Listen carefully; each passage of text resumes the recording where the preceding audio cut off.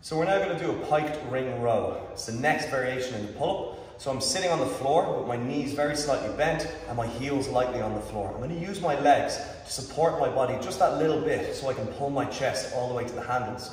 I'm using a TRX here, suspension trainer. You can use rings, you can use anything that can simulate these handles. All I'm going to do is I'm going to fold my shoulder blades back, engage my scap, squeeze my stomach and pull to the handles. Fold my shoulder blades back, squeeze my stomach and pull to the handles. I'm letting my legs help me, but my legs are only lifting the bare essentials. And eventually, the aim is to progress and use even less of the legs.